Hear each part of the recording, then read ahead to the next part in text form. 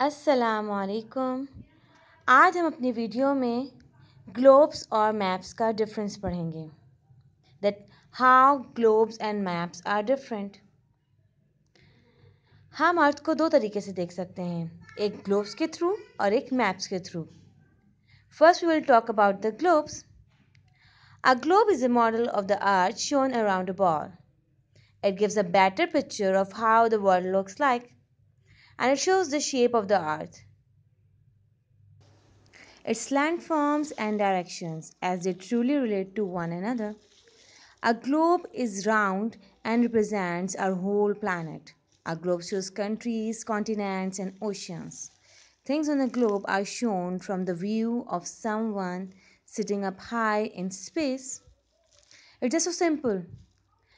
Globe हमारी जो अर्थ है, उसकी जो शेप है, वो हमें शो करती है। All right and if I talk about the appearance of the globe has it the upper part is north pole the lower part is south pole the centre part is equator and it moves in its own axis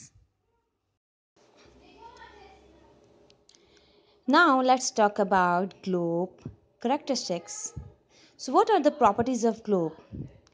Globes are three dimension. It has less information, less details, round like a ball and not easy to carry.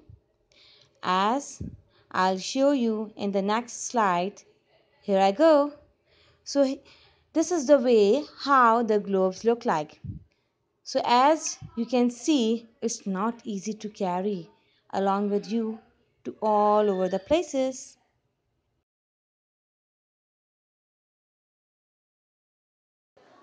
So, if I talk about map, a map is a flat drawing of part of earth. It's easy to carry. It shows small areas in great details and where things are located. For example, a map of a city often shows streets, highways, schools and landmarks. A map is a flat drawing of a place or part of the world.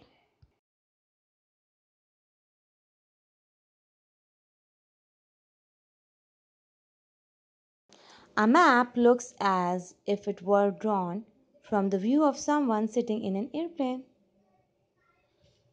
Map is so simple. If I talk about the characteristics of map, so map is two dimension, easy to carry, flat, it has more details and more specific information. These all are the properties of map. Now come to the differences of globes and maps. Globe is a spherical, three-dimension representation of the earth.